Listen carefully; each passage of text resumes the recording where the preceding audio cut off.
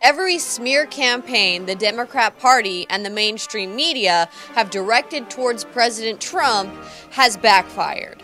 Chris, so far, the evidence is uncontradicted that the president used taxpayer dollars to ask the Ukrainians to help him cheat an election. For those of you watching at home, uh, that was not a bathroom break. That was actually a chance for the Democrats to go out and hold a press conference. Uh, ambassador for all the supposed bombshells that was that were in your opening testimony. Uh, we're going to continue our investigation. Uh, we are going to continue to pursue even after the documents. handed in the report. You're going to yes. continue. Oh, yes. The investigation isn't going to end. When you find yourself on the phone, like the Democrats did with Russian pranksters offering you nude pictures of Trump, might be time to ask yourself if you've gone out too far on a limb. And now, ABC News has learned the House Intelligence Committee has obtained audio and video recordings of President Trump's personal attorney, Rudy Giuliani, and the president himself. It's Giuliani dressed in drag with Donald Trump. You know, you're really beautiful. Oh, you dirty boy! You, oh, oh! This impeachment, whatchamacallit, has turned into a train wreck in slow motion. You would think that with the Dems' circular firing squad, their endless Pez dispenser of impotent candidates, along with your average liberals, hands down providing the most prolific contributions to cringe fail compilations ever, how could President Trump and fellow Republicans not have a landslide victory in 2020? So, while we're all eating popcorn, watching the clown show in the house, electronic voting machines have been set up to rig the 2020 election. And when I say rigged, I mean like this. You've probably seen the three-card Monty before. The tosser tells you to follow a card as he mixes them up, then asks you to point out that card. That's the game everyone thinks they're playing. The first thing that happens, though, is the tosser executes a secret move to switch the cards before the game even begins. Instead of throwing down this card, you're throwing down the card over.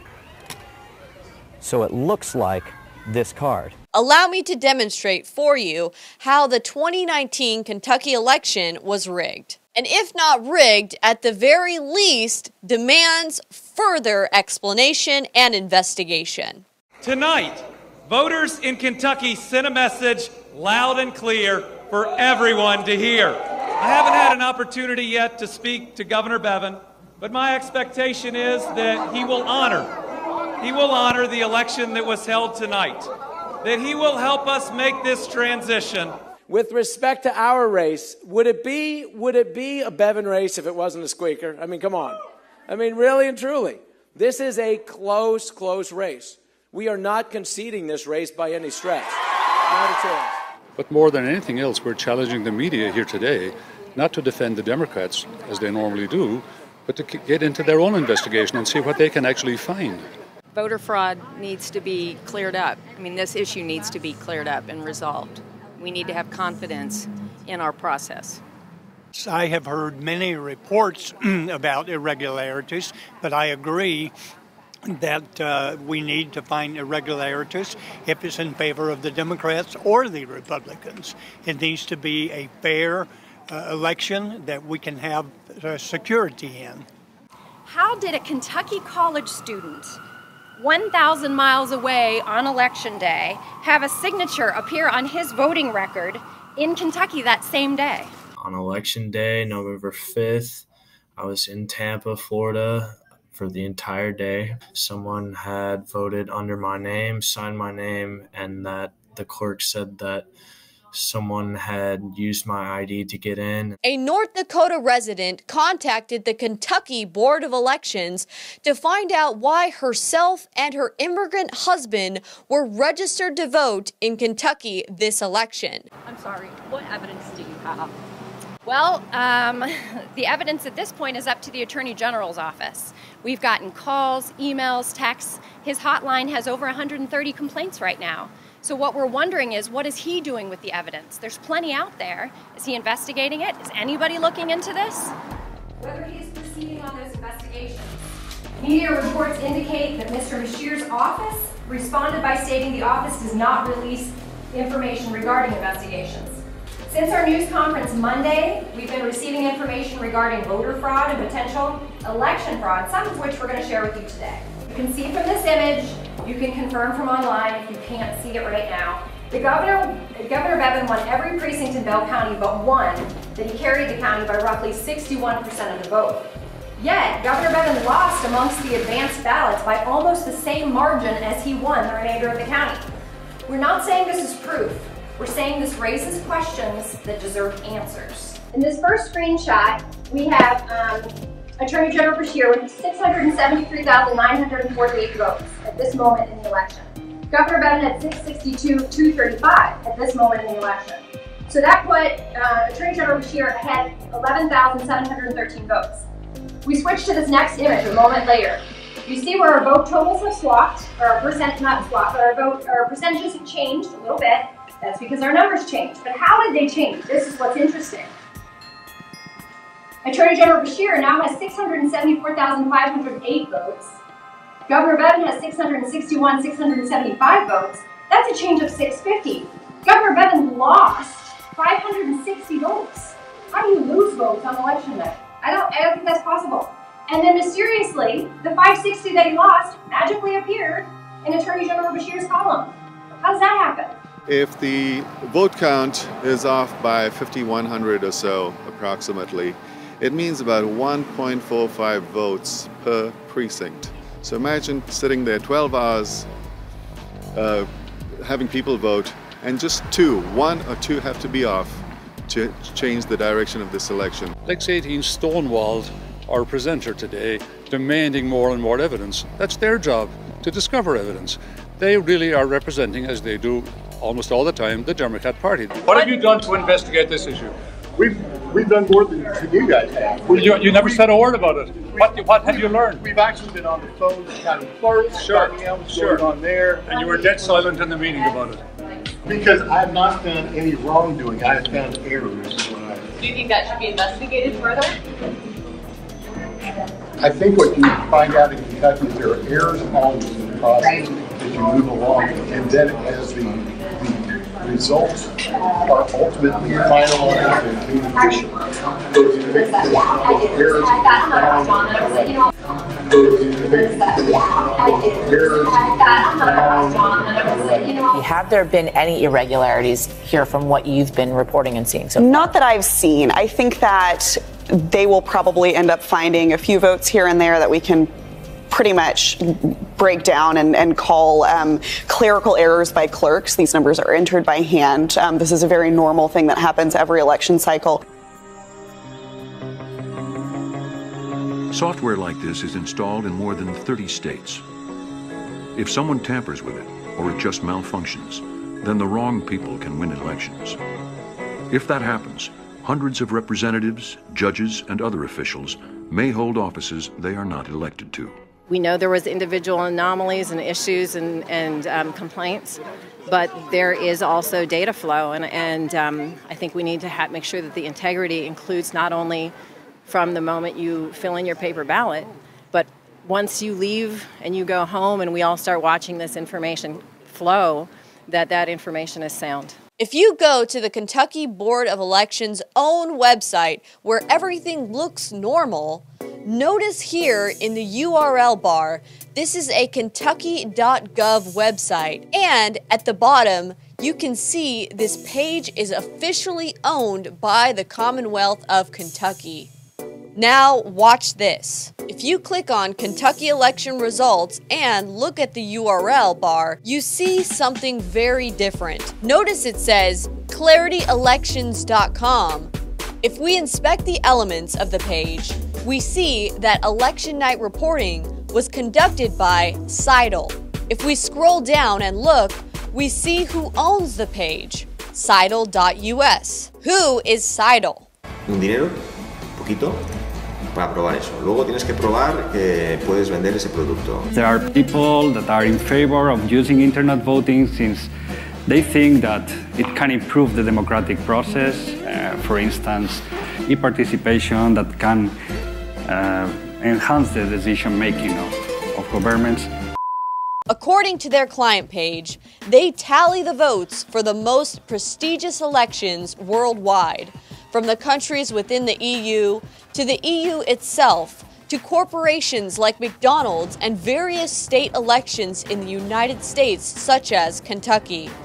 McDonald's has their own elections? We literally have an offshore company counting our votes. Talk about foreign interference. Encryption is instrumental to electronic communication and financial transactions to protect the security of privacy and authentication. The development of digital ciphering led to the use of trapdoors. A trapdoor strongly resists cryptanalysis by anyone not in possession of trapdoor information used in the design of the cipher. The fact that election data is being transmitted over the internet requires encryption. Therefore, the software and operating systems used by Scytl in the Kentucky election has encryption trapdoors, and whoever possesses the trapdoor and keying information has a backdoor into the system. This allows the designer to break the system after he has sold it to the client and yet falsely to maintain his reputation as a builder of secure systems, swaying the outcome in a favorable direction within a reasonable margin. This was evident in documents sent to me from a whistleblower regarding the Kentucky 2019 election. Forensic investigators who examined the leaked documents saw evidence that suggested manipulation of vote counts. However, due to encryption, the logs from the computers used to process the total vote counts would need to be seen to see if the totals were manipulated before being transmitted to the Board of Elections.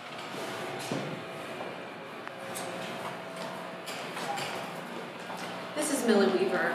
I just delivered to the governor's office documents that a whistleblower sent me on Friday alleging election fraud in Kentucky these documents were so concerning that I decided to come down here and deliver it to the governor himself. Now that the governor has these documents, I hope that this will spark some kind of reaction and investigation into these very concerning documents that were leaked. There is not any real sense of transparency with how the voting process works. And the more people look into this, and this isn't nothing new. HBO did a, documentary on this uh, 13 years ago, I think back in 2006. And um, what you're going to see is that we do not have checks and balances. And that whether you are a liberal or a conservative, whether you vote one way or the other, we should make sure that we have integrity in the election process when it's 100% digital and electronic to make sure that people have confidence because if the people lose confidence in their ability to actually know that the vote they cast is the one that was tabulated for the person they intended it to be for, if we lose that ability, I don't care your ideology, we lose something in America that is the uniqueness of our nation. Since some of our elections are outsourced to private companies who further outsource it to foreign companies to aggregate, encrypt, and tally our votes, the election data becomes proprietary. This is why when you request such information from the county, they write you back and tell you, sorry, that's proprietary, we can't give it to you. Why is it people are always interested in things that are none of their business? Getting that crucial data would only be possible through subpoena. Good luck on that one. The two companies that own and operate the electronic voting machines in Kentucky, HARP Enterprises and Hart InterCivic, conveniently can prove that their system gives a perfect recount and that the encryption works. The Texas Secretary of State has received several reports of people having problems when voting straight ticket. It's specifically related to the Hart eSlate machines. The Secretary of State's office saying people reported the machine changed one or more of their selections to a candidate from a different party. However, they cannot prove that their system gives an honest recount, that neither they nor anyone else has access to potentially hidden functions, whereby votes could be manipulated or swapped in and out with scripts completely undetected. Not to mention, the owner of both HARP Enterprises and Hart Intercivic has an exclusive contract to furnish systems, custom software, computer equipment, consulting, etc., with the entire Commonwealth of Kentucky. Did I mention they print the ballots too? Gee, I wonder why they can guarantee that the recounts will be the same as the first count. One of the problems that we have is okay, how can we ensure that the encryption process is really providing contents of these votes and it's not, for instance, changing the votes and providing a different results just to manipulate the election? So tonight, ladies and gentlemen, I should like to present for you all a world famous rabbit from a hat. Thank you. The first step is shuffling and re-encrypting the vote. This has nothing to do with the trick. This is just union rules for magicians. But what could happen here? This process can cheat. Uh, can cheat, for instance, the, the election officials. Instead of providing a re-encrypted vote, they can change and put another vote. There's nothing here, nothing here, nothing here, nothing here.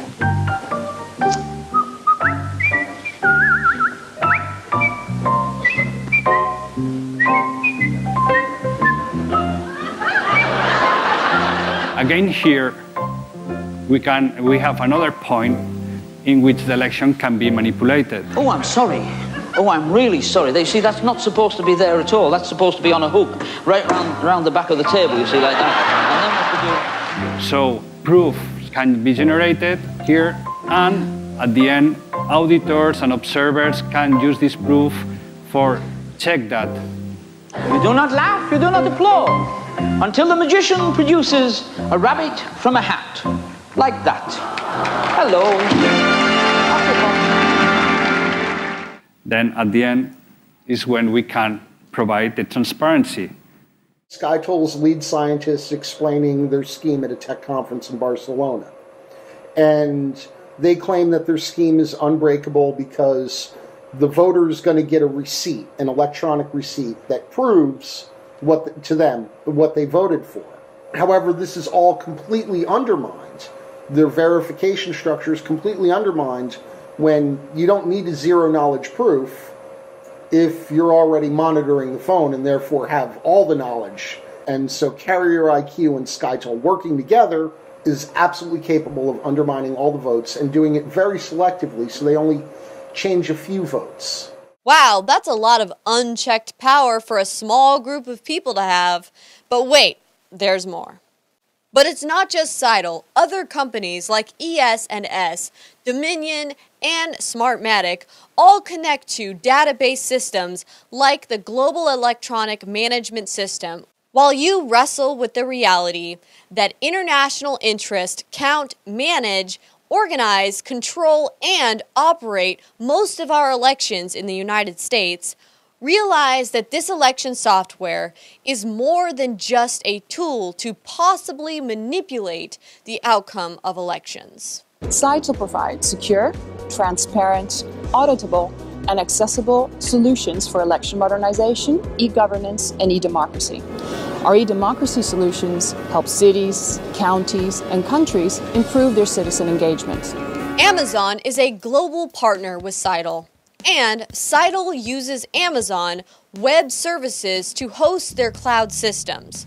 Google and Scytl have partnered to provide live time Google Analytics of election results, as well as creating an online voting interface. Results are displayed for the public and media using Scytl's election night reporting. The product is designed to address the needs of all users, with specific attention spent on users with accessibility needs. This product also was developed with a responsive design so that it can be easily viewed from any device or screen size.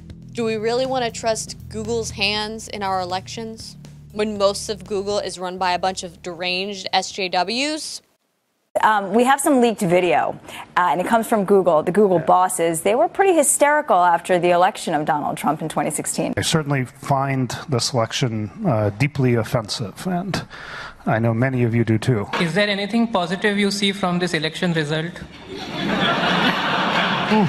Uh, boy, that's that's a really tough one right now. I mean, why bother lobbying when you can just go around it and rig the elections to your favor and only let the politicians win that have your interests in mind?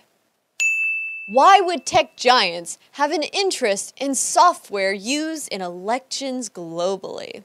Gee, I can't imagine why.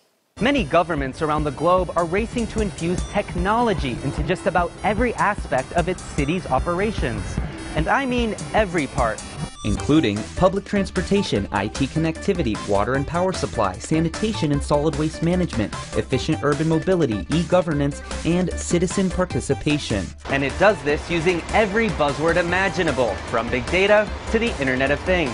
The Internet of Things, or IoT, is influencing our lifestyle from the way we react to the way we behave. IoT is a giant network of connected devices. These devices gather and share data about how they are used and the environment in which they are operated. Sensors are embedded in every physical device. It can be your mobile phone, electrical appliances, vehicles, barcode sensors, traffic lights, and almost everything that you come across in day to day life. You see, it's not that this software is part of our elections. This software and our election is part of something else. Our smart governance solution covers not only smart cities, but a province, a smart country, a smart county, any smart electoral government body that we actually choose to address. From a top-down perspective, we leverage tools like surveys, e-consultations, petitions. From a bottom-up perspective, we provide tools like Scytl e-democracy portal and Scytl social media monitoring. Scytl is literally harvesting your personal social media information and metadata for elections to nudge us. Nudge is undoubtedly one of the most successful public policy uh, uh, initiatives of the last uh, decade or so. Voluntarily or through election manipulation towards their model of global governance. You combine that with data mining software and predictive behavior, and you can even figure out which voters aren't going to check and aren't going to look, check, or complain, and call you back, and you know which 1% of the votes to, to flip, which 2% of the voters to flip, with very predictable results. So the idea is to have localized control integrated with the global centralized system in other words, this is our version of the social credit score, but rather than just a credit score, it is a totally digital integrated system where everything is interconnected through a centralized control database and the election machines and software are just one aspect and phase of it. So the Internet of Things is really just connectivity and processing power embedded into the world around us. And that's this is also the industrial world. It is our cities. So we're going to hear a lot about smart cities, about smart cars, and about the smart home. Because when everything is connected, all of a sudden we have data that allows us to really understand the world in ways that we never were able to before. Globalism merging with progressivism through the Internet of Things and e-governance. Global initiatives data mining our internet activity, manipulating our election towards their end goals. Tonight, we take a look at a nation that has put nearly all of its government services online. Key to it all? One card. It's a digital ID with encrypted files used together with a PIN code. Virtually everything, she says, can be done online. So, banking, healthcare, voting, all done digitally. Yes. Uh, it's also energy companies, uh, telco companies, so buying things online or seeing just your bills or your energy consumption, this is all available uh, with a card. And the next step for this small country is to expand beyond its borders by offering what it calls e residency to everyone in the world. We are not looking at election fraud in the traditional sense of stealing votes from one candidate or the other. We are talking about a database system that takes your voting registration, DMV records, your available metadata, public information, then creates a unique profile that is integrated into a modeling system that projects live time modeling of likely voter outcome. This model can then be used to game the election by generating scripts to run in place of actual vote tallies, modifying the voter turnout to a desired outcome within believable ranges. Could this be why they failed to steal the election in 2016 for Hillary Clinton? Because the polls had greatly underestimated the vote turnout for President Trump?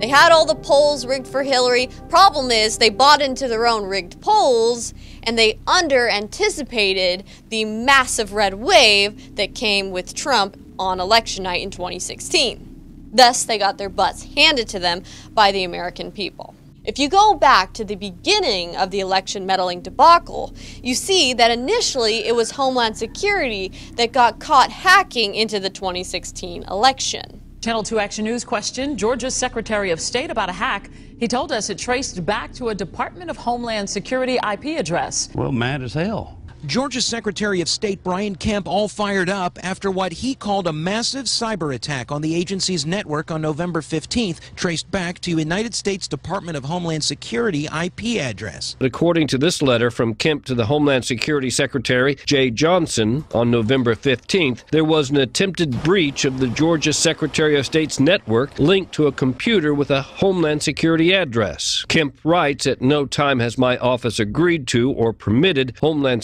Security to conduct penetration testing or security scans of our network. Could be a, a bad actor in the administration, could be a, a bad actor in the administration. However, they said it was because they were hot on the trail of the Russians hacking the election. Remember?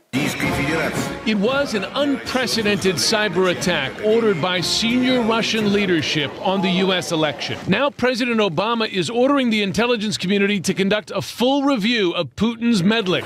But then, when it all came out that there was no proof of Russians hacking the election, everyone seemed to forget about Homeland Security having hacked the election. Well, I think it's going to fit in, uh, Boris, to this investigation that uh, President Obama has called for. Um, it's that Russia tried, perhaps, to look into meddling in the election. Russia tried, perhaps, to look into meddling in the election. Not that they actually affected it, because if you remember, election officials, DHS officials tried to assure the American public that even if Russia was trying to meddle, it wouldn't be able to actually affect the outcome. For instance, how was Homeland Security getting in and out of the voting machines?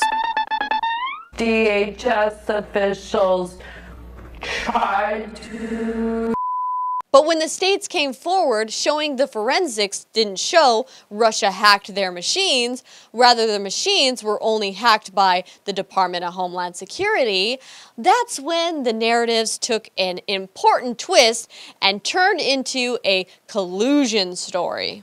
We were beating the drum pretty hard, beginning with a conference call I had with every state secretary of state on August 15th. The Obama aid package to the Ukraine, with the billion dollar loan guarantee Biden threatened to have withheld if a particular prosecutor wasn't fired, just so happens to be the same aid package instrumental to Scytl getting a field office in Kiev. Scytl's election training provides a permanent online trading platform to the Ukrainian Electoral Commission. The Obama administration must have known, among other things, that there would be discoveries of foreign meddling in the 2016 election that benefited Hillary Clinton, but not quite enough and knowing that the Democrats and media would be implicated, had to put a spin on it, accusing Trump of exactly the same thing they did. Gee, you don't think this is why the Democrats started up this bogus impeachment inquiry, do you? What have we learned from the Democrats' impeachment inquiry? They promised the country a fair hearing. What have they delivered? The impeachment version of three card Monte notorious short con card trick where the mark, in this case President Trump and the American public, stands no chance of winning. The Trump administration began investigating the allegations of foreign election meddling in 2016. to get to the bottom of what initiated the surveillance of the Trump campaign, and to find out what the basis was for the special counsel investigation into false allegations of the Trump campaign collusion with Russia. In other words, Trump wanted to find out who started it. In order for the Trump administration to get to the bottom of the foreign meddling in the 2016 election, they had to send investigators outside the U.S. through channels outside those set up by the previous administration to places like the Ukraine to obtain information regarding whatever was on the DNC server. It's called the swamp. And you know what happened? And you know what I did? A big favor. I caught the swamp. I caught them all. Let's see what happens. Nobody else could have done that but me. I caught all of this corruption that was going on and nobody else could have done it. Pro Democrat investigators from the National Anti Corruption Bureau of Ukraine, or NABU, willfully helped the Democrat Party and candidate Hillary Clinton through the release of financial dirt on then Trump campaign manager Paul Manafort during the 2016 election. Allegedly, and most interesting, there is a mirrored version of the DNC server in the Ukraine that has revealing information on it debunking DNC claims about Russia hacking the server. What if what's actually on the DNC server is the blueprints for how the Democrats hacked the 2016 election? Holdovers from the Obama administration who were party to or have an interest in the Ukraine corruption became alarmed that the Trump administration was using alternative channels and closing in on their foreign election meddling, money laundering, and foreign aid schemes and their questionable quid pro quo deals.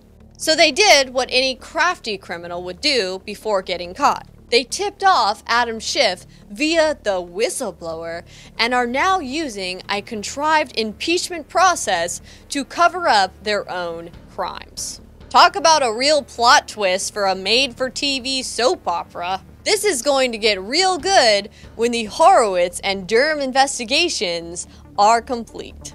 In the meantime, while we all sit here and watch this train wreck in slow motion, the fix is in for 2020 election fraud. So here's the real question Can the red wave overwhelm the Democrats' electronic voting in 2020? Well, only you can make that decision. The Democrats can't steal an election if there's an overwhelming wave of Trump voters that hit the polls. And if there's more whistleblowers out there that continue to shed light on the corruptions inside the Democrat Party and the deep state.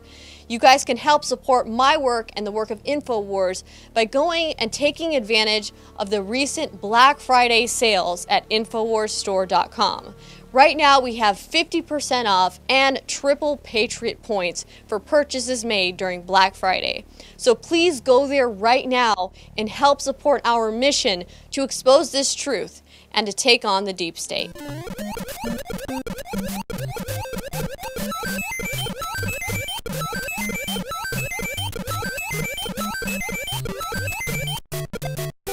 Communist China quietly bought up Hollywood more than a decade ago, and they've been approving almost all the scripts that you see on television or in the movies for many years. And now they own our debt.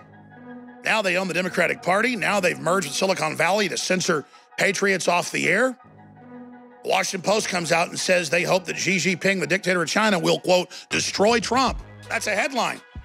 So InfoWars has been the Paul Revere of this operation. We have blown the whistle continuously and have been proven right. And that's why it's more important than ever that we override Silicon Valley and their Chi-Com masters by word of mouth and spread the word about InfoWars and check out InfoWarsStore.com. That's where the arsenal of our republic is being funded. That's where the tip of the spear is continually being forged, is InfoWarsStore.com.